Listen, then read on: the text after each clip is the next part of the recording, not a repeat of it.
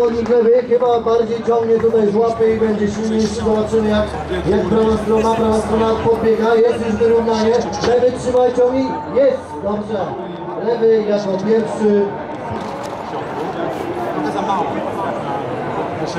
poszedł y, do swojego łańcucha, klepnął i tym samym przechodzi do y, finału. Myślę, że mamy już tam prawie połowę zawodników była. Następnych zawodników, super zawodników zapraszam.